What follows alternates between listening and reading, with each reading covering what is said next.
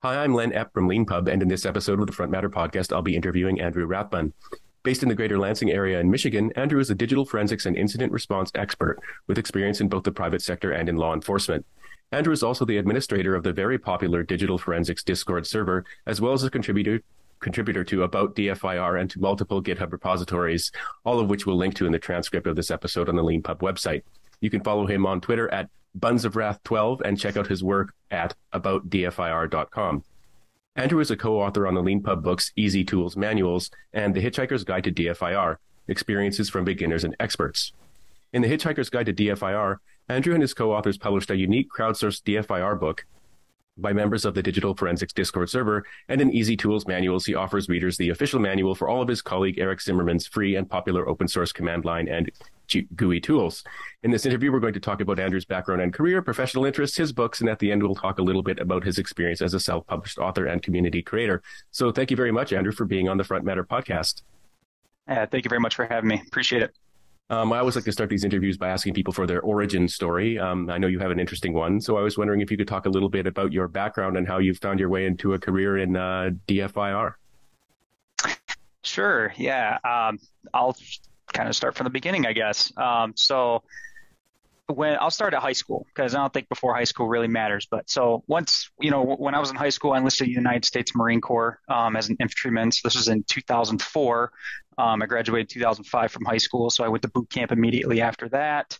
Um, so from like June to December, I was in basically boot camp and uh, my infantry training, and then after that, I did a semester at college, and then I went to Iraq. So I I was gone for about a year. Uh, did about five months pre-deployment training, and then seven months in combat. So my entire 19th year on this earth was pretty much in combat in Fallujah, or training to be in Fallujah. A little bit different than probably what other 19 year olds were doing at the time.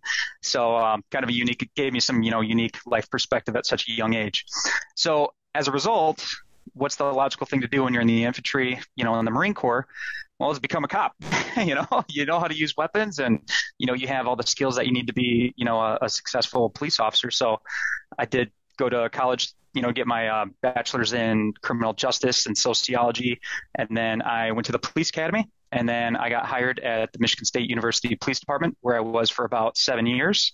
Um, I was a patrol officer for four years, and then I was a detective for three years. Uh, when I was a detective, I started doing digital forensics. So I was doing like the general crime. So like, you know, hey, someone stole my laptop, um, someone vandalized my car, you know, someone hit my car and then you know drove away, that sort of thing. Those are the kind of cases that I was working but also we were doing uh, digital friend, or I was doing digital forensic investigations as well as you know my my coworkers um, that we shared a lab that I shared a lab with. Um, those crimes that the, the digital forensic case crimes typically range from could be homicides, could be child exploitation, could be extortion, um, kind of everything all in between. Um, it was really interesting work, and I really wish I could like go back and do that work now with what I know now. Um, I, am sure I'll get into that later. So anyways, after that, so I was uh, I was a police officer slash detective for seven years. After that, I went to the Feds uh, HHS OIG. Uh, it's the Department of Health and Human Services Office of Inspector General. Um, I was there for a year, and basically what that was was assisting in um, healthcare fraud investigations. So HHS runs Medicare, Medicaid. You know, I may have heard of it. Um, a lot of fraud goes on naturally, so that's typically the scope of uh, the cases that we worked at OIG. And then now I work at Kroll, where um, I got hired as a senior associate. Now I'm a vice president, where I do digital forensic instant response, digital forensics and incident response, uh, mostly ransomware cases and insider threat. So that's kind of my journey. Um, you know, I didn't go to school to um, to do what I'm doing now. Um, I had long thought about it. I loved computers. You know, growing up in the late '90s with dial-up. You know, I remember that. I was old enough for that. Um, I was always on a computer all throughout high school, all throughout college. You know, I looking back on it, I probably should have done something in computer science, but you know, hey, better late than never. Um, but yeah, that's that's pretty much kind of how I got here. Yeah, thanks very much for sharing that synopsis. There's a lot of interesting things to talk about there. Um, one thing, if, if you don't mind talking about it, I'm, I'm sort of curious. Um, if there was when you're in Fallujah, if there was a kind of average day for a 19 year old Marine, you know, deployed in combat, what was what was the average day like?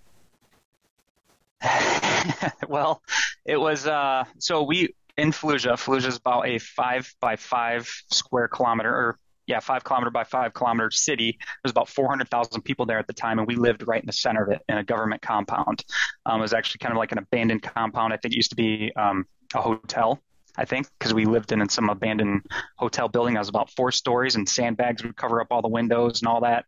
Um, you know, if you, if you had to go to the bathroom, you had to go outside, which means you had to wear your flak jacket and your your uh, helmet, and you had to have a weapon, and it had to be loaded, and it had to be ready to ready to use. You know, uh, condition one for those who are who know their weapons. So, um, yeah, I mean, it was it was a unique it was a unique experience. Uh, we typically did five day rotations, so we do like five days foot patrols, five days vehicle patrols, and then five days what we call FOB security. FOB is a forward operating base, which means there are operations that move out of the the wire. So the wire is like you know inside the wire is you're in in our territory. Outside the wire is technically enemy territory, or you know not within our compound. So a fob is where you do things outside of the wire. Things, you know, you sleep in the fob and then you go do patrols outside of the fob. Hopefully that explains it. So like I said, five days foot patrol, five days vehicle patrols, five days fob security. So fob security, there's all these posts all around. You're looking through basically a really thick bulletproof glass for four hours at a time. You know, four hours on, eight hours off, four hours on, eight hours off for five days. Um, then when you do the, the foot patrol one, you're going to wherever your lieutenant and your sergeant's telling you to go. Hey, we're going to go hit up this area, this area, this area of the map. So basically what you do is if you have a squad of, let's say, 13 Marines, split it in half six and seven, you basically leapfrog. So you do that route, but you leapfrog like that. Um, so one once half of the squad is moving into a house, you get you go in the house, say hi to the people, go to the you know get security to provide overwatch for the other one, and you just kind of rinse and repeat, you know whatever the route is. So we would do that Vehicle patrols, obviously, you can cover a lot more, um, a lot more, you know, uh, part of the city and outside of the city um, on in vehicles. So it's really kind of the same thing, um, except it's more four, um, four Humvees. I was typically in the front one. I was a turret gunner. Uh, because I had a, a, light machine gun that I carried, they automatically made us turret gunners whenever we were doing the vehicle operations. So I was being the front turret gunner in a little convoy of like you know three or four or five Humvees, you're the one waving to people to you know move them out and that sort of thing. It's just it's a really looking back on it, it's an extremely dangerous job. you're you're sniper bait because you're the only one sticking out of the out of the Humvee, and you know we did have issues with sniper fire. Um, thankfully, I never never was you know subject to that, but unfortunately, I do know people who were. Um, but you know, I'm just yeah, it was just a very, um, it was a very unique experience. I'm very happy that I had it at the time I did because I was so young. I don't think I had enough independent thought. And I think if it, if I were even a few years older with a little bit more life experience, I would have thought, hey, this is maybe we shouldn't be doing this, or oh, this is really dangerous. This is really stupid. Um, but I was so young and I was so fresh out of boot camp. I was all about just doing what I was told. And you know, hey, maybe that saved my life. Maybe that saved other people's lives that I was around because maybe I did have that mentality, and they did as well. Discipline, you know, doing the right thing when no one else is looking. So yeah, thanks thanks for sharing that. It's, it's really interesting the observation you made about being young as well. Um, uh, I remember once I was in uh, I was at a conference um, uh, for the company I worked for in Las Vegas, and I think 2006 or 2007, and there was a Marines ball, um, I think going. Oh yeah, and yep. um, uh, fun. And I remember thinking, boy, these guys are young. Like they were yes. all 18, you know, and, yep. and I think, and, and then I remembered what I thought of myself when I was 18 and I mm-hmm. didn't think I was young, you know, yeah. and it, it's, yep. it, I thought I was a man, you know, and it's, yep. it's it was, you're very much not. no, no, no, no. And, and, and then, and then of course, you know, the thinking then they're, they're and like, it, I mean, this was 2005 or 2006, right? Like they're going, they're going to war. Yep. Um, That's when know. I was there. 06, 07. Uh, yeah, yeah, yeah, and uh, it was. I mean, like I don't have much more to say about it except like how like kind of serious it, it all was and sort of real it totally sort of came to me just seeing and it, and it was kind of cute too like and I don't say that in a patronizing way because all the young men yeah. had their girlfriends but it was all like you know it was a date for the ball right? You know yes it, it's it was, a big thing yep. Yeah yeah and so it, was it sort of so they were sort of enacting a kind of formality but um yep. you meant there's there's you mentioned they're not really sort of like sort of you know you're, you're following orders right? And I've I've got a couple of questions about that. One is um uh when you, said you were a turret gunner, so did you did you have any choice, like in your in your in your pre-deployment training? Were you given any kind of options for like what you might specialize in? no, I was the new guy. I was relatively new to the unit. I had less than a year in service in by the time we deployed. Um, so, like I said, I went to boot camp in June of 05, and then June 1st of 06, we got activated. So technically, I was 18 years old when I got activated for deployment. I was a young guy, and of course, so in a, in a fire team, a fire team is four Marines. So there's typically a saw gunner, which saw is a light machine gun. Um, I don't know if you ever play Call of Duty or anything like that, but typically there's saw on those on those games. Um, and then like everyone else has an M16 typically. So M16 is just your typical your rifle, you know, just in layman's terms. So an M16 is about eight pounds. A saw is about 24 pounds. So new guy gets to carry the heaviest weapon because no one else wants to carry it because they've they've all done their time or they they can right. pull seniority. So to answer your question, no, I did not really have a choice as to what I did. And so once you are a saw gunner, I mean you're the one in the fire team that's going to be in the turret, you know, because no one else. I'm I'm trained for that. I'm I'm trained for employing the light machine gun. Mm, everyone else can, but it's mine, you know. Um, so that's kind of how that worked. Yeah, voluntold.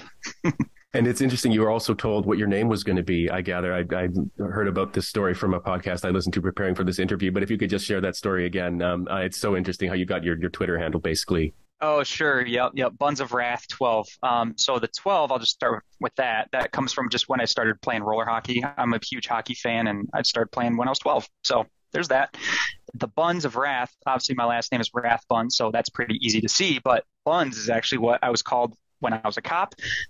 And that came from when I was overseas. So my team leader at the time while we were overseas, so you got to think about think about the most stressful situation you've ever been in. Maybe when like you know calling 911 is involved or something like that. It's all your fine motor stuff just kind of goes out the window, and it's all gross motor. You know, it's you're just falling back on habits. You're just falling back on whatever's easiest, whether it's right or wrong. Wrath Rathbun is not an easy name to say, especially when rounds are flying past you. So basically, my team leader said, I'm not going to call you wrath Rathbun. I'm going to call you Buns. I'm like, aye, aye, Corporal. All right, you know what, what else can I say? No, mm-hmm. you know that, that's mm-hmm. that's uh yeah. That, so that's pretty much that's pretty much where that came from, and it stuck because it's it's easy to say, it's fun to say. Hey, Buns, you know. Um, it is. It's a great it's a great nickname. yeah, yeah.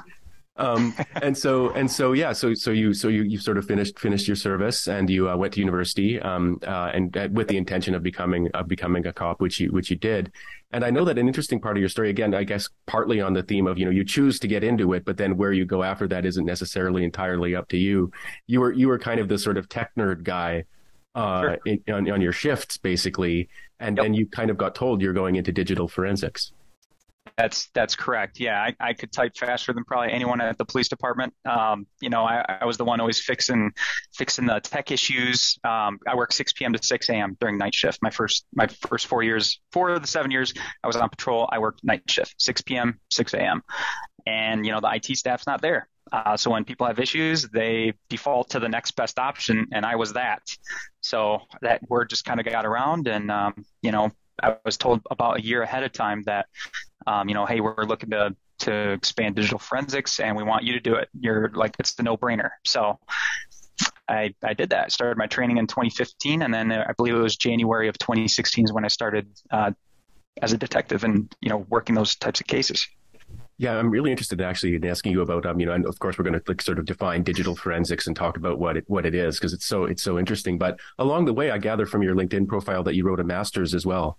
Um, I, yeah, I did, and that kind of kind of to my point how I didn't go to school for what I'm doing now. My master's is in human resources administration. So we got criminal justice, sociology, and human resources administration. Yet I work in cybersecurity. So that just goes to show you about something I'm sure we'll talk about before the podcast is over. That it doesn't matter what your background is, you can get into cybersecurity and digital forensics. Oh yeah, I mean I'm I 100% on board with that. I'm a I'm a former English major who became an investment banker, you know. So sure, you yep. know, there's these there's these things these sort of skills cross yep. uh, cross areas if you're if you're willing to let them actually. Um, and that that's a kind of important feature of that as well. You know, of course, there's a lot of people who are like, oh, I I, I you know I learned this in school, but I never use it in my job. And whenever I hear people say that, I'm like, well I kind of feel like saying a little bit shame on you, you know, like, yeah, I, yep. I, bet, I bet you there's ways you could apply it if that's, if that's so important to you that you could probably Ab- do it. Absolutely. Um, and your your master's, I mean, you say it was in human resources, but in a very it was in a law enforcement related thing. I, I see emotional intelligence in law enforcement. Um, yep. And so, if you could just take a couple minutes to maybe talk about that and, and what you were writing about there. Sure, yeah. Boy, I haven't looked at that in a while, so I'll do my best. But uh, basically, there's a book that I really liked when I was a cop called Emotional Survival for Law Enforcement by Dr. Kevin Gilmartin. It's a fantastic book. If you know anyone who works as like a nurse, anyone working shift work, so nurses, anything super stressful like that, vet techs, uh, vet, veterinarians, doctors, any emergency room doctors, it applies to them. Uh, my wife is actually a veterinary technician, and she read it, and it's it's totally it's totally applicable to her and her line of work. But strongly recommend it for any of the cops, you know, and any of those other, um, you know, workers, you know, those types of jobs. But I really liked um, the concept of emotional intelligence and what it what it meant. Um, you know, taking care of yourself, your mental wellness. Handling being in control of how you react to things because over time that'll compound if you react to things poorly you know and you, you develop that negative attitude. And the, that book actually talks about what's called the magic chair. So it's like the 12 hours that you work you're you're very you're hyperactive you're hyper vigilant but then when you get home you're just like a zombie to the world and you, just sit in your chair you watch tv and you're like yeah whatever honey uh, you know you're just you're a zombie. It's it's that magic chair and it's all about trying to avoid falling into that that routine of like you are your best version of you at work but then at home you know you're just you're a zombie and you're just kind of letting life pass you by and then you know that refers to suicide rates it refers to uh, divorces the high rate of divorce you know within those those uh, lines of work you know, emergency medicine, uh, law enforcement, you know, we all know, we've all heard it. Uh, even military, you know, people in the military should read this as well. Really great book. So I wanted to just talk, or I wanted to get try and figure out the prevalence of emotional intelligence within the law enforcement community because, like, I knew the answer, like, it's not really present for the most part. But I mean, without data, you can't really say that, right? So, you know, I worked at a Big Ten university, Michigan State University, and so the, the the data set was from all the other Big Ten universities. So I, you know, put out a survey, had all the questions, and the the group that I surveyed was just officers at the Big Ten universities. And so it was it was really cool. You know, I should I should go back and read that. It's it's been a few years, but uh, you know, I, I felt really good about it because I know that outside of that book and maybe a couple other ones like I Love a Cop and uh, there I think there's spiritual survival for law enforcement. I think really outside of those three, there's not really a lot out there in terms of better understanding emotional intelligence within law enforcement. So I kind of felt like I was, you know, it was a gap and it needed to be filled. And, you know, quite frankly, someone could keep going beyond that. Did you get any, um, I guess, kind of, you know, probably the terms wouldn't have been used, but kind of emotional intelligence training uh, as part of your Marine training? Oh no, no. The emotional intelligence training in the Marine Corps is more so just kind of get over it. You know, move past it. It's all about mission accomplishment, that sort of thing. So, I mean, maybe it's different now, but you know, back then, while we are at the height of the Iraq War, in the infantry, I mean, that's that's just not what it was about. Yeah, that's that. I mean, that corresponds to what I've heard from from from people I know that it's it's kind of like break you down and build you back up and, and make you into that's exactly it. a machine yep. you know? Um, and well, that's well, great on. yes that's great for that environment. That's what you need in fallujah in ramadi in baghdad in the mountains of afghanistan. That's what you need. People got to learn to be able to turn that off you know once you reintegrate back in society. And i think that's where like some of the struggle happens because if you are so good at doing that over there and then you try and apply those same principles back in society i mean it, it just it doesn't work like that, you know. Um, and that's probably where some of the issues come from with maybe with suicides and you know alcohol abuse is just that's how they cope. Like I was really successful here, why am I not here? You know, and I mean that's a whole rabbit hole that I'm I'm not really that qualified to talk about, but that's just how I see it, uh, based on what I know in my experiences. It's it's really interesting actually. One thing one thing I was thinking about um, preparing for this interview was noticing like you know from the bios from some of the authors from the the uh, Hitchhiker's book um, and um, just sort of you know sort of looking around, I, I realized that a lot of people in digital forensics uh, and particular incidents response are, are sort of like um, often both former law enforcement and military.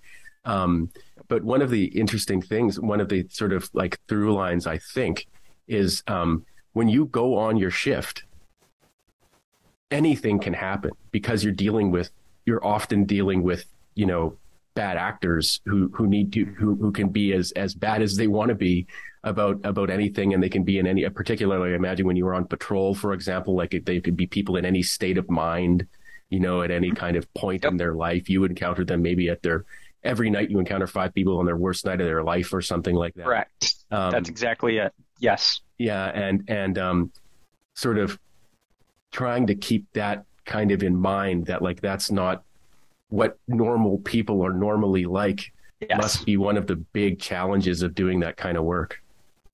Absolutely. The cynicism, you can't escape it. Everyone who's ever worked in law enforcement and probably even the military too, I would say, is going to have that level. And nurses too, right? I mean, they, everything that goes through a hospital door, I mean, they see it all. They have to deal with it and it's their problem. You know, often, I would, I should say often, but it's not uncommon for sometimes when law enforcement can no long, longer handle an issue an issue with a subject like they have to go to the hospital and like there's nowhere that the hospital can dump them off to like they got to deal with it. So yeah i mean you can only expect some cynicism is going to come out of it. Everyone's got it a little bit.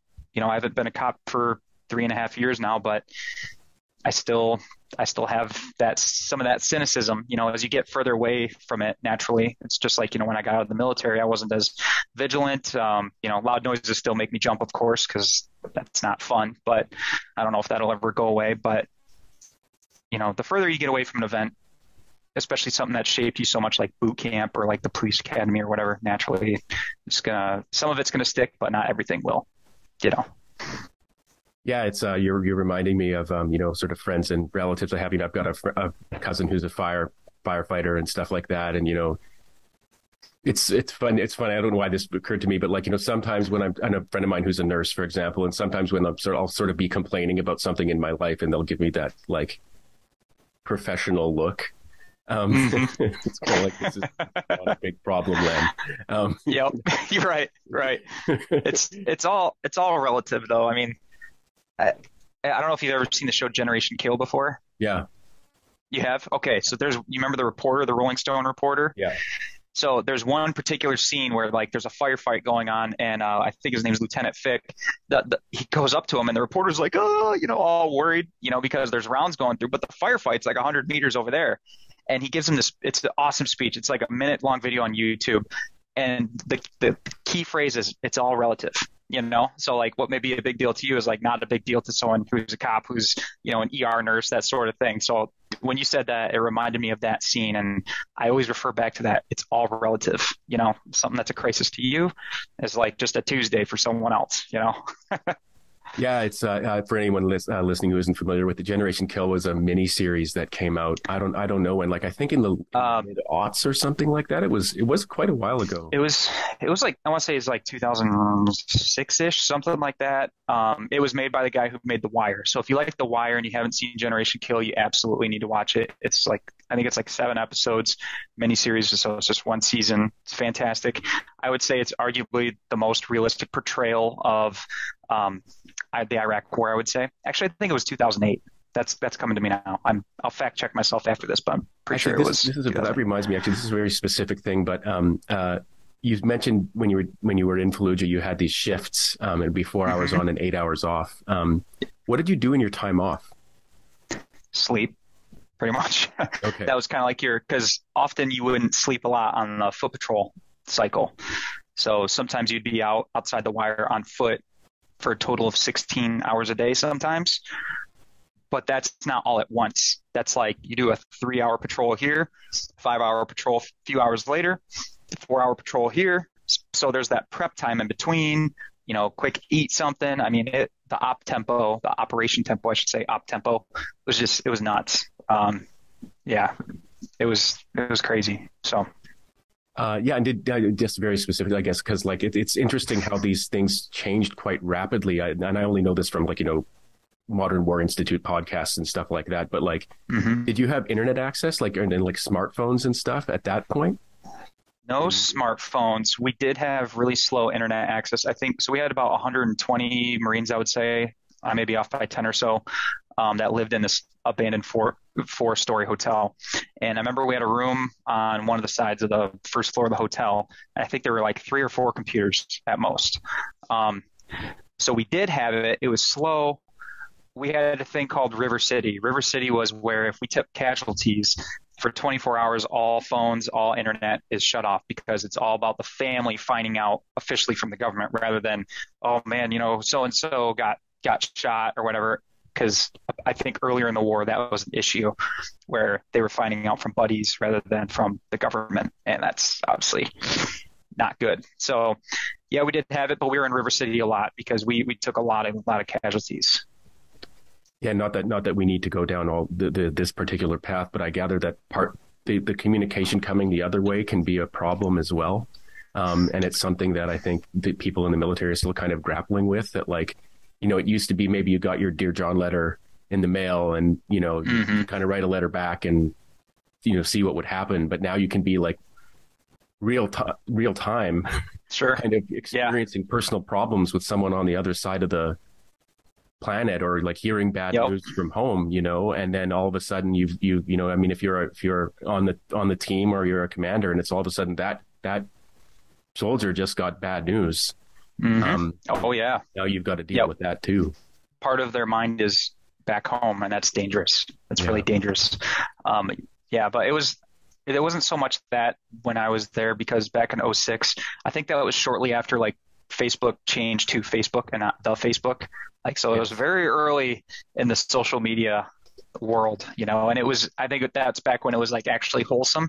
There wasn't like, you know, ads and all this stuff that it is nowadays that, you know, I don't use it as much, nearly as much anymore. Yeah. You're, but, uh, you're uh, in good company uh, on that note. Um, uh, um, uh, but uh, yeah, but so uh, so anyway, so that's all um, super interesting, and and and then and so and then you found yourself in this digital forensics world. So, yep. um, can you talk a little bit about what digital forensics is, and then we'll talk about incident response a little bit a little bit after. Incident response is more like a kind of like a car crash on a highway. So think of like a hundred car pileup. Um, you have all these cars, you have all these injuries. You have to basically come in after the fact, you know, just like the police officers do. How did this happen? What was the damage that was incurred? Um, now, more in incident response, what did the bad guy take? Because that's a lot of things of what you're dealing with is you're dealing with breaches and intrusions.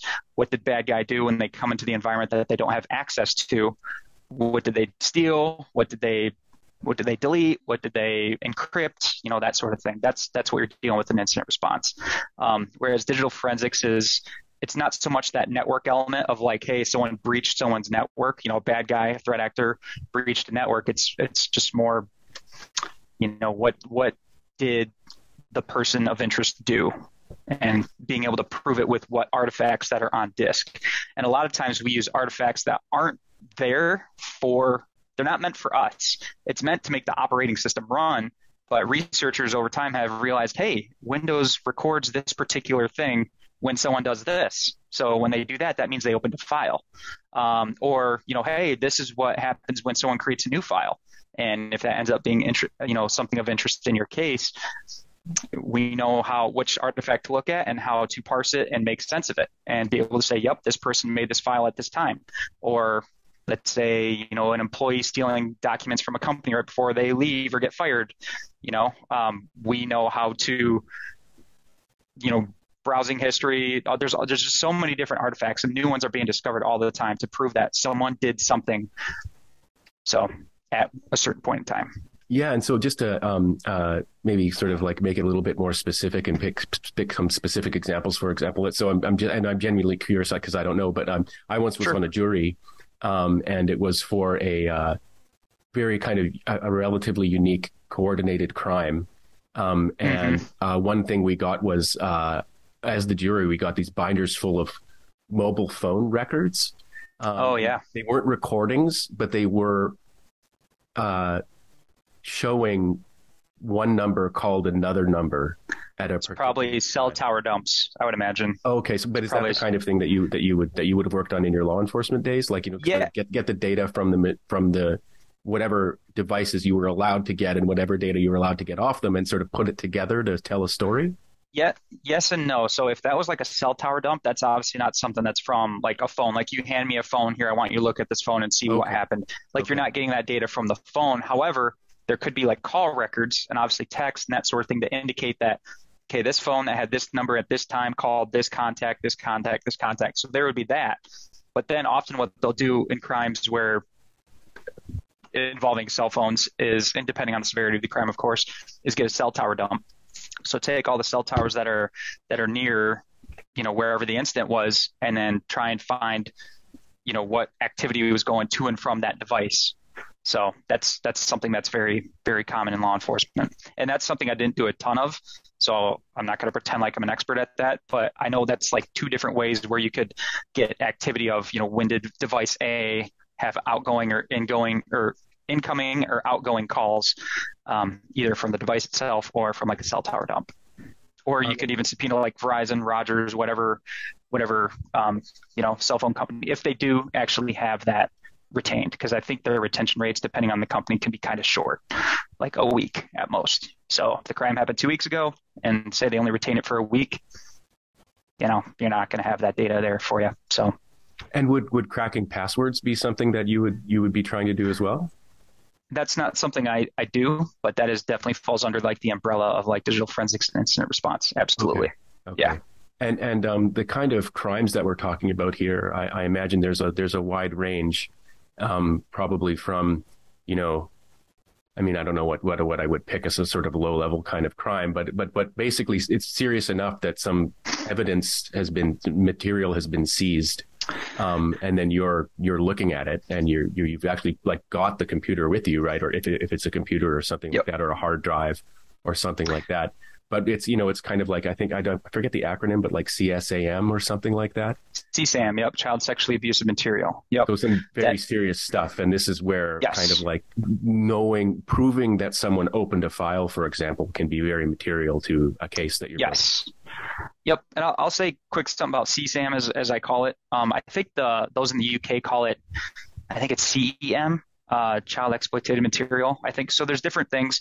The main thing is that we're trying to phase out in the law enforcement community is child pornography because pornography indicates that is you're watching it for pleasure. You know, it's it's not something people should be watching for pleasure. So the the more appropriate term is child sexually abusive material or the CEM. It's just trying to get away from that whole child pornography just because of the stigma of that term because those kids are not consenting to this and it's illegal and it's wrong on so many moral, ethical, legal levels, you know, so it's not child pornography, it's child child sexually abusive material. So just wanted to put that out there. Um, but yeah, some of the some of the cases that I've worked um, with digital forensics, I was thinking this when you're asking uh, asking your question, like nowadays anything involves a phone. You know, that's like everyone's second brain. Um, one of the ones that just came to me was there was a drunk driver that was recording them driving like 90 miles an hour down a road. And I think it might have been a suicide attempt, but it's basically a T road, so you can only go left or right. You know, there's a cornfield if you keep going straight.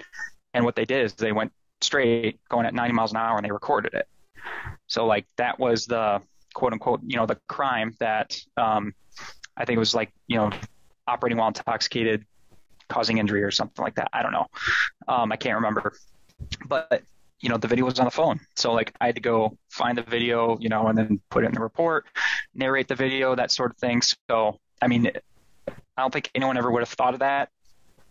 Like until that case comes across your desk, you're like, who does this? you know, like you never would have thought that a drunk driving case would ever like a phone would be relevant to it, but there, you know, there it was in front of me speaking of and that's just that, that's just one of many so. Yeah speaking of things that people wouldn't think about um, i was wondering if you could share a story. Um, I, I, know you spoke about this on another podcast where you talked about a digital faux pas or something a forensics faux pas but um, you had this oh. great story but you were actually on site sort of like physically searching for oh yeah. material and if you wouldn't mind sharing that story it's uh yeah yeah yep i remember that.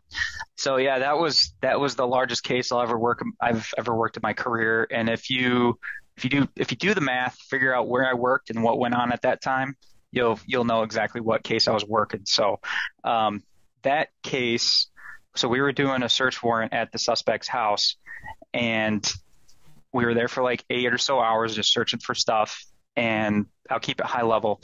Um, but at the end of the day, we were about to leave with whatever evidence we had found, and one of the officers was that was like security for the outside of the house was like, "Hey, they want to look at the trash?" And uh, we're like, "No." And sure enough, because I think because there were so many cars outside the house that I, I think the trash had come, but the trash truck probably could not have gotten the dumpster. Um, well, there was evidence in the dumpster. Uh, there was a lot of evidence actually, and so sure enough, you know, we looked everywhere except for that, and it's obvious. It's it's the trash is at the end of the driveway on a day when the police show up. So it's yeah, it's I think the important lesson there is like even though that person was not overly involved in the case at the time and is not the most technically savvy, as in they were not a digital forensics detective, they were still able to provide that perspective and that idea because they're not in the weeds with us. And sometimes you know when you're when you're so deep you can't see the forest for the trees and you need someone like that um, to just like hey did you do this? Insert simple thing here. No no i didn't but i did all this other advanced stuff on the inside. Well okay let's take a step back. Let's do the simple thing.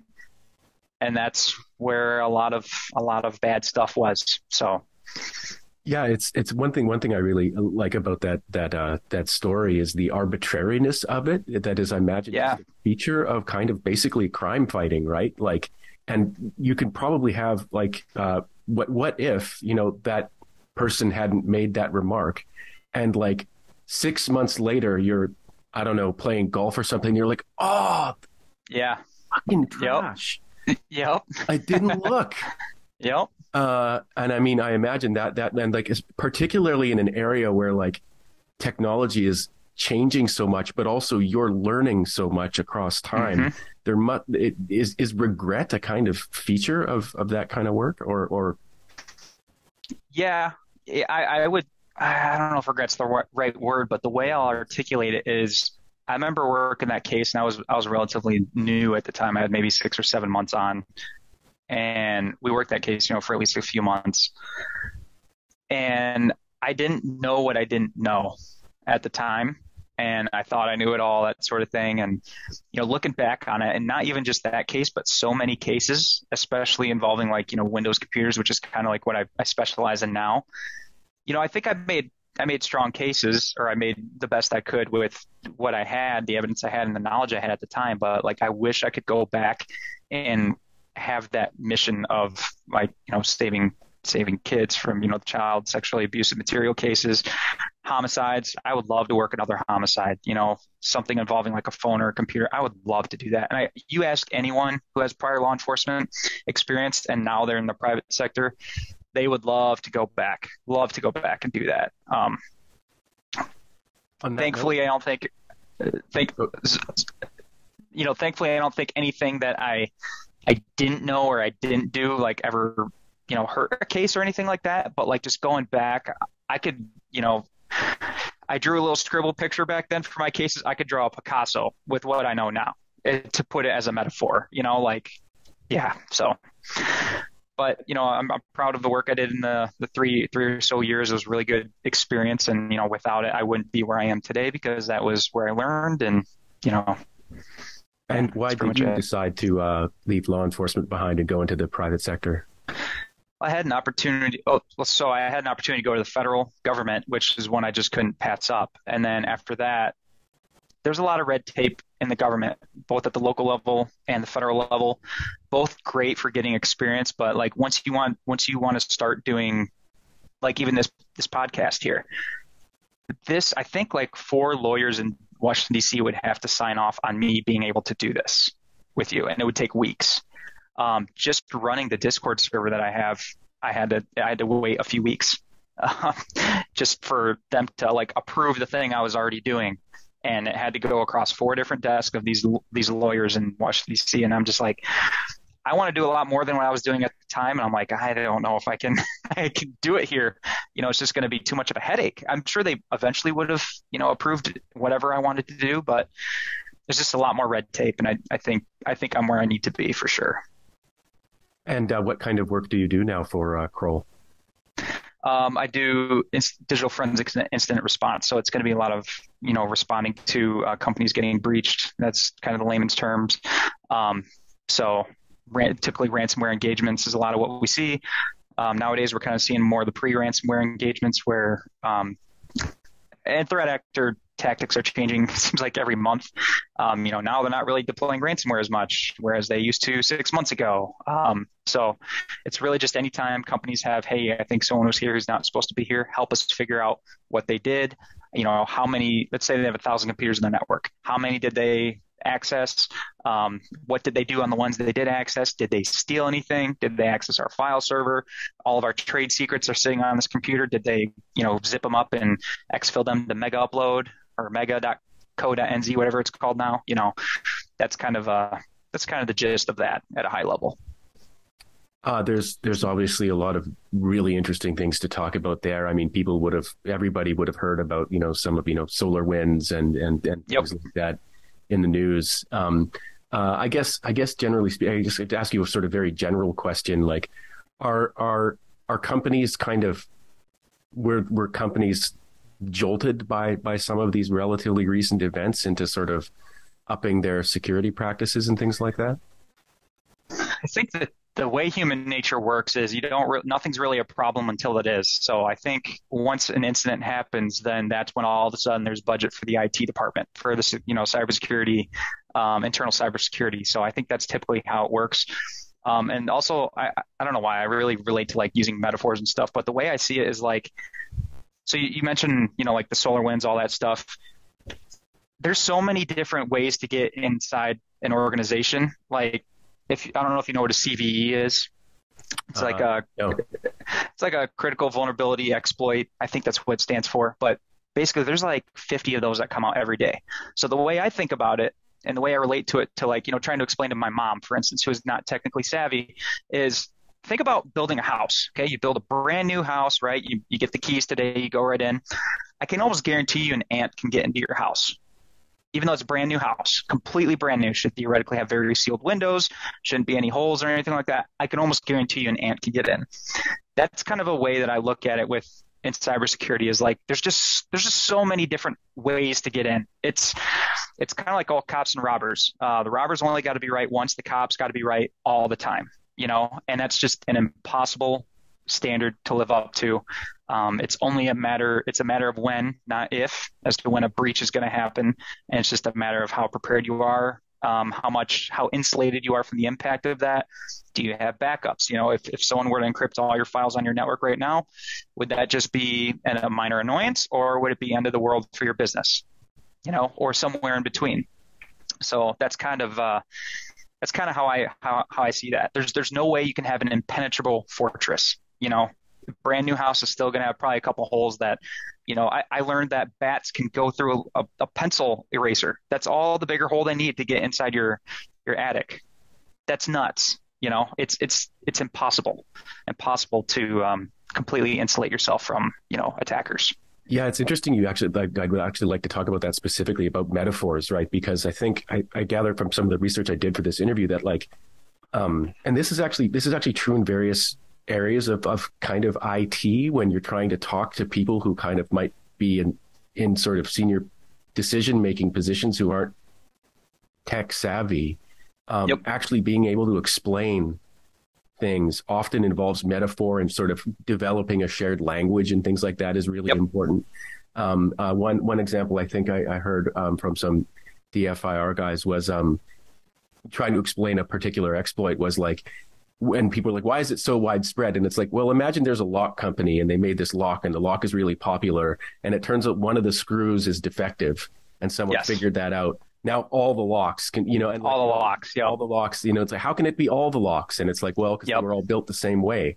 Correct. Um, and yep. uh, it's interesting too. I can say like from my personal experience. So I'm, I'm the sort of, you know, non-tech person at Leanpub. And so anything that doesn't mm-hmm. directly involve programming first sort of falls to me. So I kind of became the kind of de facto kind of security guy at Leanpub. And so I had to like learn and I found it quite fascinating, but like how to look for like these patterns of people kind of like snooping around. Mm-hmm. You know what I mean? And like, well, I'm sure you know way better than, yeah. than what, I, what I'm talking about. But I, but I, I, what I, one thing I sort of found interesting about it was like, oh, I'm totally doing this with no training Uh, mm-hmm. and and I'm I'm sort of fighting off these guys. And by the way, this is not a big problem for Leanpub. We sell ebooks. you know, we use third party sort of. We, we use Stripe and PayPal. They're pretty sophisticated sure. and stuff like yep. that. So like it's but but but nonetheless, you know, there are, you know, the there's the odd plagiarist, for example, who tries to. Sure. And what they'll what one of the sort of super interesting things about it is the back and forth, because people will try something and you'll catch them, and then they'll immediately try something else yeah, and then you'll catch sure. them. They'll immediately try something else. And yep. I've, I've, even had interactions with people where we catch them and they get irate. You know, sure. They're, like, they're mad they got caught. they're mad. They're they're mad. They're mad at you for catching yep. them, even though they were trying to do something they know is wrong. And it just there's this sure. sort of very curious psychological yep. element to it all. Um, there is. you see that in law enforcement too. You see that very same thing. You know, catch people speeding and just peeing in the bushes. You know, I worked on a college campus, so naturally that happened all the time. You know, you know they're they're mad they got caught. Yeah, one one one thing I noticed. Uh, this is sorry, not not to go on this too long, but like it is it is interesting how like the infinite variety of it, right? So I used to live in Montreal, um, and uh, in a very sort of densely populated neighborhood with lots of like ground floor dwellings. And I noticed what's there was someone going around putting bottle caps on windowsills.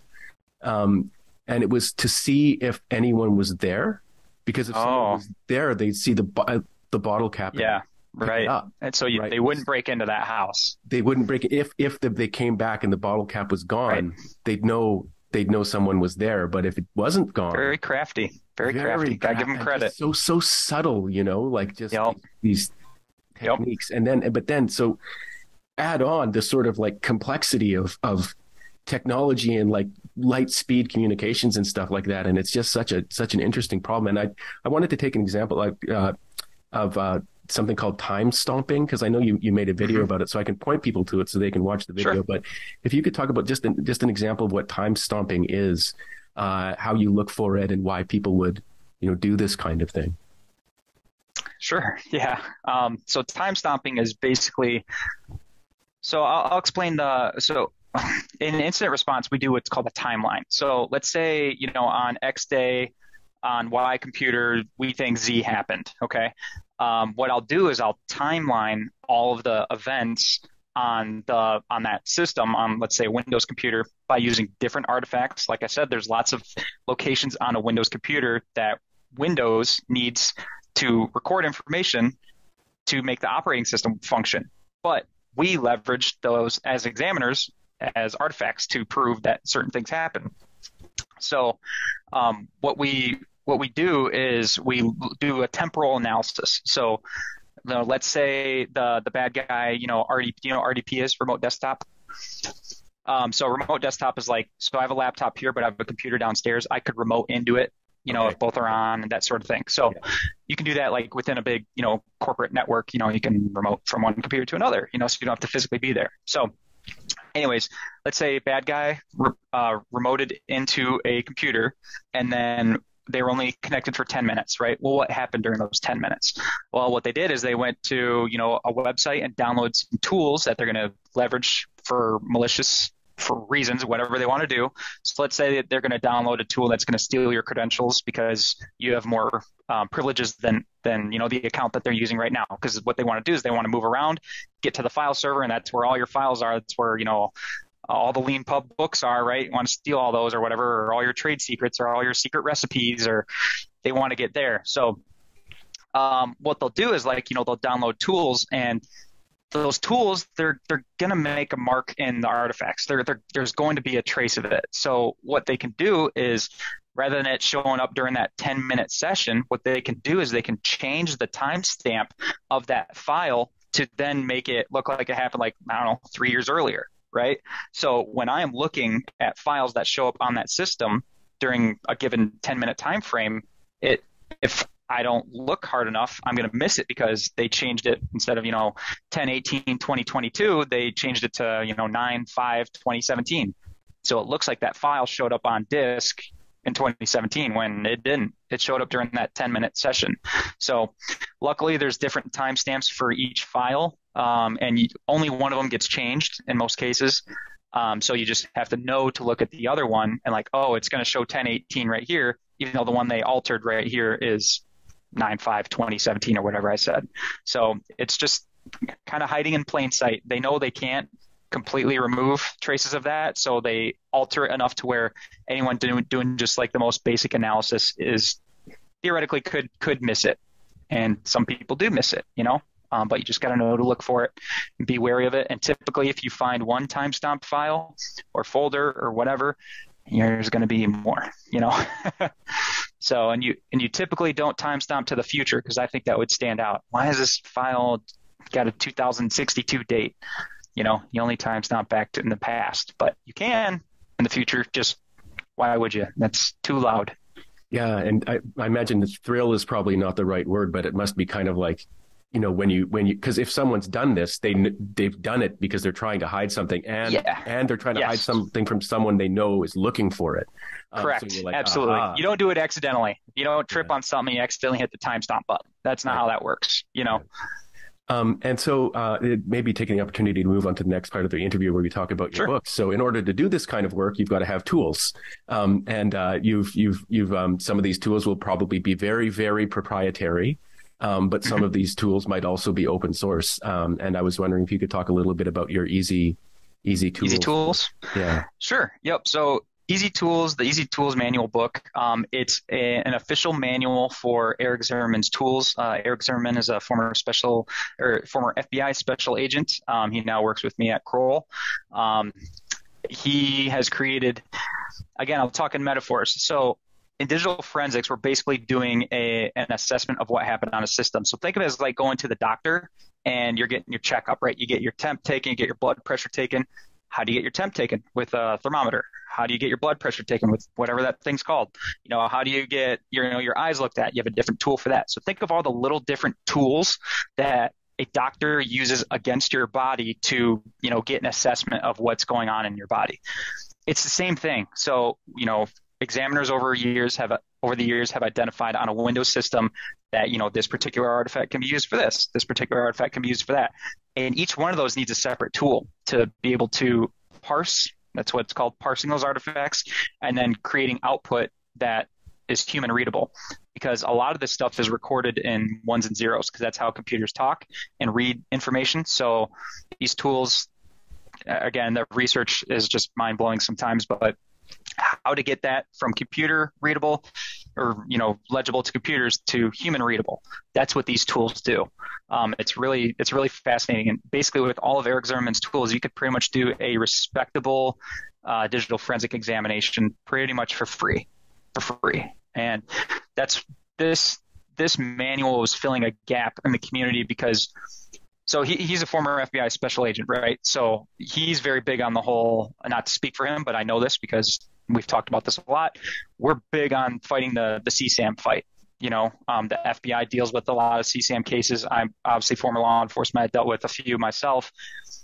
We are both no longer in law enforcement. There's plenty of people out there um, that are still in law enforcement and have to deal with that, and they leverage these tools.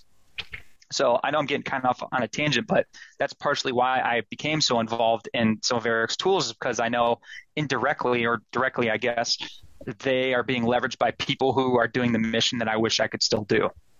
Actually, rather if, than that makes sense, that's a that's a perfect segue um, to my next, next part of the interview. I think where we talk about your your Hitchhiker's Guidebook because we can't. Sure. Actually, I realize we can't really talk about that without talking about the Discord server that you set up sure. first and why there's how it works and who it's for and the demand that it and need that it meets. Um, so yep. maybe if you could talk a little bit about like how that how that started and and and the community that's there. Sure. Yep. Uh, so Digital Forensics Discord server was started back in 2018, March of 2018. Um, I was a cop at the time. I was a detective at um, Michigan State University Police Department. And that basically stemmed from, and I actually cover this all in that, one of the chapters I wrote in that Hitchhiker's book. Um, so I'll just paraphrase. But what started out on Google Groups was moved to IRC with like 10 of us, uh, IRC Internet Relay Chat, basically really primitive chat um, for those who don't know.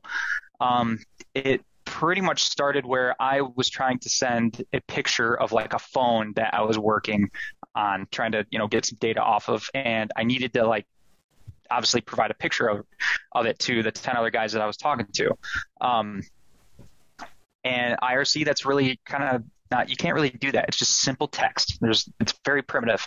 So I had to like upload to Imgur or however you want to say it, you know, and then provide the link. But like I don't really want to take pictures of evidence and put it on that site and then you know because then it's like out there and that's just bad juju. So I'm like, hey, we should go to Discord because it's something I just signed up for like six months ago. I know it's for games, but like, man, it's got like, it checks all the boxes for me and I just, I really love using it. Um, and so we did. We moved to Discord. And what started out as pretty much like three of us, three three became like 10 became 100 became 1000 became yesterday i just checked we're um, technically over 11000 now which is unreal so it's that I, the way I break it down in the chapter to, to kind of show you the reach of it. You know, there's what 180 some countries or something in, in the world. What we decided to do at the beginning is we had roles. So if you're familiar with Discord, you can assign people roles. So we created a role for we wanted to separate law enforcement and private sector. There's no like if you have a law enforcement role, you see different things versus private sector. Like there's not that. Um, but we just want it to be labels. So like so you know a cop in Sweden knows that they're talking to someone in the private sector, knows they're talking to a student, knows they're talking to whoever, you know, uh, someone who works for Magnet Forensics or Cellebrite, you know, a vendor, a tool vendor. So that's what we did. So to to bring it back to how the reach that the server has, I believe we're at 74 different countries. So like I would do law enforcement USA, law enforcement UK, law enforcement Sweden, rinse and repeat, rinse and repeat. We have 74 different countries. That's how far this has grown.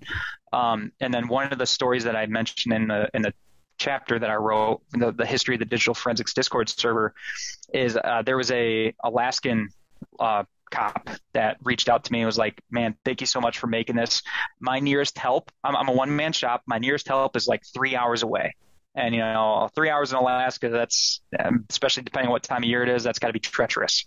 So he's like, this has opened it up to people all over the world. Um, you know, I don't know everything. I don't have the budget to, you know, go to all this training and I live in a very remote area, that sort of thing. So like this is my lifeline. You know, and I can't tell you how many times on the server someone, you know, with a law enforcement role, for instance, says, Hey, I'm working a homicide right now of a of a 10 year old or something. I really need some help on this. And then it's just like everyone just focusing in on that, you know, like we we've had stuff like that before where working on a horrible CSAM case, working on a homicide, uh, working on something really awful that, you know, you just don't, it's just unimaginable things. And, but digital evidence is involved. And this community has helped those cases. And that's there's nothing there's nothing greater to me than that. The fact that this server has helped even one child you know helped with help put someone who killed someone away even one person you know something something has been posted in the server that has helped someone at some point in time to put evil away yeah it's uh it's uh thanks for sharing that story i mean it's so great and it's it's interesting how like profoundly productive it is. Um, uh, you mentioned budgets and training, for example. You know, some uh, from what I gather, some like you know, could, someone could have been in the experience you were in, where it's like you're the DFIR guy now, you know, and they mm-hmm. were like, oh, I've been on, yeah. been a patrol cop, and now you're what, right? You know, and yeah. like, and and so they're like, what? I, I don't even know what device this is, you know Correct. and and, yep. and now like all there could be people from all around the world in all different time zones right and like because they might be working the night shift so they might be up yep. during the, they might be in day nighttime singapore daytime you know oh, croatia yeah. uh, and uh, and um, you know be able to collaborate and help each other and basically recreate that a version of that story or like did you look in the trash you know uh, yeah but, but oh, kind yeah. of in real time you know they could be like oh yes. you know there's this wait did you did you look in this folder did you look in that folder did you know yep. that they found out about this exploit yesterday you know yep. all that kind of stuff Absolutely. And the beautiful thing about Discord, and one of the big reasons why we chose it over Slack was because it was, it was free. And like, let's say you join the server today, you have everything since March of 2018 to search. You can search. So something may have answered your question that you have three years ago. It's just sitting there. You just got to search for it. And so it's such a, a compendium of knowledge now. You know, uh, I'm sure there's a lot of chitter chatter here and there, but it's all it's very professional. You know, everyone knows the purpose of the server, what it's there for. We have an off-duty channel where you can let loose a little bit, but it's it's a self-policing community. It's honestly it's a it's a beautiful thing. It really is. The community runs itself.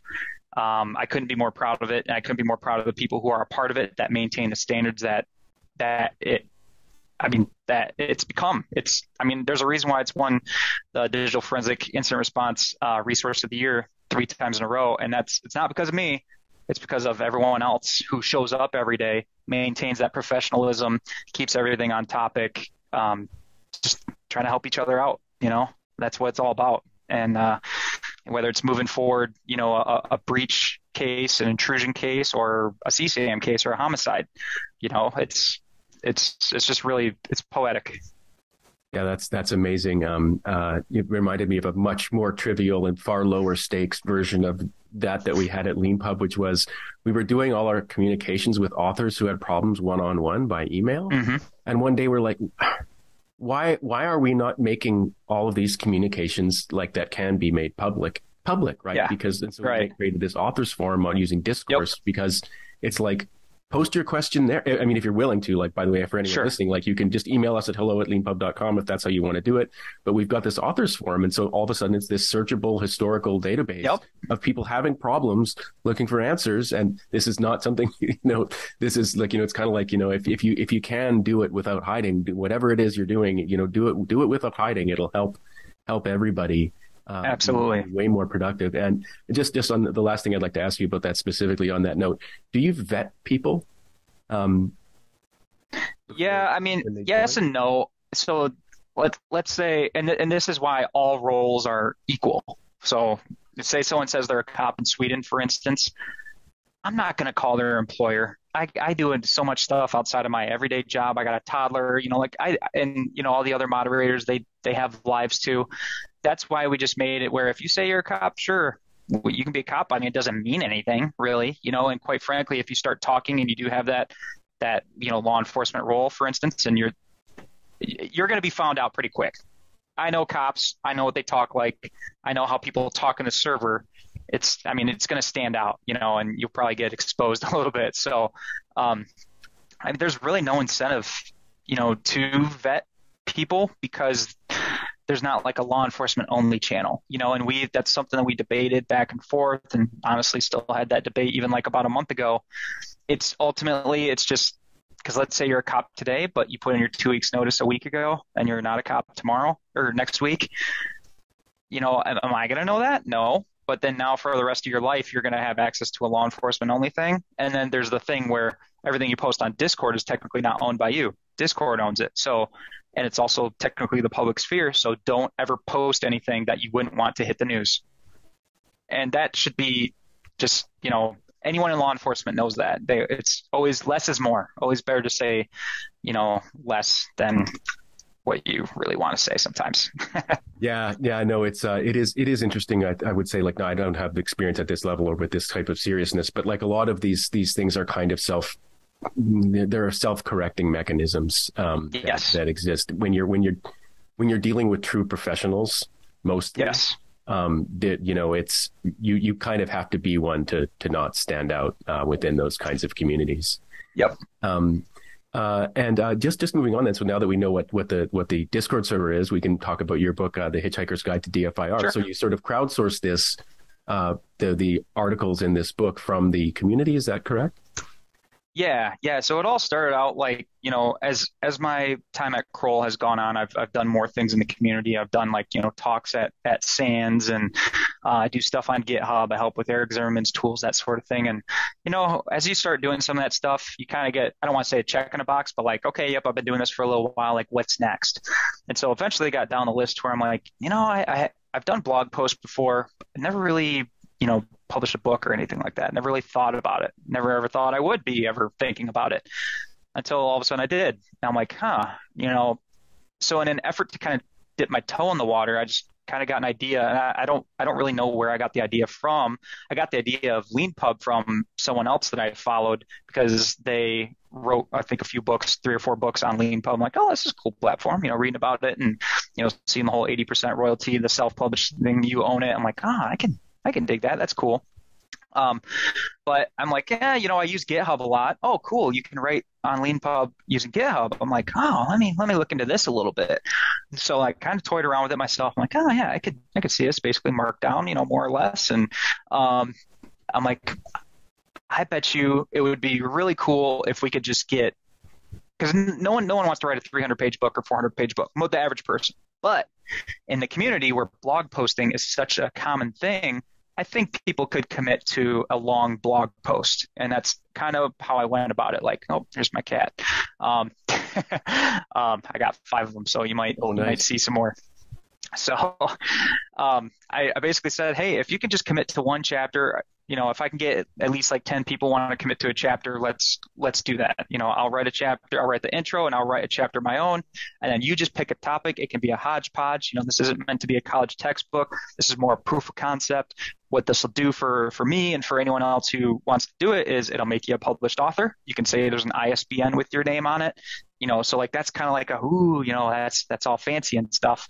Um, little did I know how easy it was to like really procure an ISBN and to self-publish using Leanpub. That's it's it's really easy. It's really nice, um, and that's why I ended up doing the second book, the EZ Tools one. But yeah, that's kind of where it came from. Is like I just made a channel on Discord. I'm like, hey, I got this idea. Let me know if you want to do it. And I got you know probably 15 or so hands raised, and um, I basically said, okay, um, you guys can work on whatever chapter you want. Once I have about 10 that are finished, right? Because let's say you book 15 people, you know, 10 hopefully we'll finish, will actually finish. Once we get 10, let's publish version 1.0. So we did. We got the 10 chapters or 11 intro plus 10 and published uh, version 1 on August 15th of this year. And since then, we've released version 1.1, which was the 11th chapter. So I'm just waiting for a 12th chapter to be finished. Anyone who's listening to this and you know wants to contribute a chapter, just finish a chapter. We'll push out a new version. So basically, thinking once we get to about 20 chapters or so that are published and finished, we'll probably put a wrap on it, um, and then you know do the print ready PDF and you know because I would like to have a physical book, right? Um, so I think we'll we'll end up doing that eventually. Um, it's just a matter of getting the amount of chapters to be really feel complete. Um, so yeah, that's kind of how that started out, and it's been a great experience. I'll speak for myself, but in talking with a couple of the other co-authors, they've loved doing it. Everyone's relatively familiar with GitHub just by being in this field, um, and then to do it writing a book is just really I think that was just kind of unique, and I think it worked out really well. And you know, I, I plan on continuing to do it because I already do enough stuff on GitHub, so I might as well might as well write a write a book. And I've I've open sourced that book, so anyone can technically, if they find an error, they can just do a pull request on GitHub and you know add that comma or correct the way I spelled onomatopoeia or whatever, you know. Thanks very much for sharing that story. That's so great. I mean, there's so many, there's sort of like five classic Leanpub elements in there, right? I mean, uh, so when we yeah. started out, it was a blog to book kind of idea, right? It's like there's all these people with all this content out there. Put it in a book, um, uh, yeah. you know, and um, and then you know, sort of people from you know co- collaborating in different communities and putting things together all separately, but using using GitHub, which is like this for anyone listening who is, doesn't know about it, it's this you know incredibly sophisticated collaboration tool um, mm-hmm. uh, uh, that allows people to kind of like have a kind of you can think of it a kind of main main manuscript file that mm-hmm. people can then get themselves make a change to and then submit a sort of a pull request or they can they, yep. can, they can sort of send it up to the administrator as it were and say hey will you accept this change or not and this can yep. be as easy and you can you can actually do it all in the browser now too you don't need to learn about terminal or command line or anything like that. Mm-hmm. You can actually follow the link in the back of either of of of, of these books um, that Andrew's talking about to the GitHub kind of issues page, and you yep. can submit an issue even, um, uh, you know, oh, sure. and, uh, and, say, and it could be a typo. And if you're listening, like authors love hearing about typos uh, and yep. then fixing them. Um, and uh, particularly, uh, one of the things that that's been so popular with Leanpub in particular is that since so many of our authors are programmers, they they they found the sort of like conventional publishing process where it's like it's my book and I have to submit a change to someone else to change it and then I have to wait for some whole process to go through. Why can't right. I just go like delete, replace, you know, and then yes. save and publish and click the publish button. And so with something like GitHub, like someone anywhere in the world could find could find a typo in your book, submit it, you could get a little notification and be like, oh, and then you could fix your typo typo and click the button and you've got your yep. book updated for everyone who can download it, yes. you know, in, in the world right away. Uh, and and so it's it's just really great for collaboration and, and stuff like that. I, I love it. It's it's awesome. We control the publishing tempo. You know, um, I get asked from I get kind of I don't want to say outdated. I get these outdated questions from people who are just familiar with like traditional publishing. Like, so if I complete my chapter, when can we publish it? I'm like, we can publish it the same day. All we gotta do is review it, and I can hit a button, and boom, you know, we we got it. So it's it's kind of changing the you know trying to change like the paradigm a little bit with um, how to how to write a book, or at least in our community. Um, because there's not very many people who have written books in our community, but now all of a sudden we just added 12, you know, people who have written part of a book, you know, and I'm sure more will come. I know I plan on doing more. Um, it's just it's just a lot of fun. Um, I think with a lot of things, it's really just getting over that initial barrier of entry, and I think you know now that I know just the basics to it with you know, getting the ISBN number, and then the way that you can do it in Leanpub, doing something that I've already been doing the last two years on GitHub and been contributing to various digital forensic tool projects and scripts and that sort of thing. It's like it's the same thing I'm doing. It's just it's not a forensic tool. It's a it's a book. You know, it's just it's it's really just resonates with with me and, and the community. I think. Uh, the last question I always ask on the podcast, if the guest is a Leanpub author, um, is if there was one thing that you absolutely hated about Leanpub that had you shaking your fist and yelling at the screen over, or if there was one magical feature we could build for you, um, can you think of anything you would ask us to do? Oh, put me on the spot. Um, the one one thing I think would be really cool. Do you know what um, Markdown Monster is? No.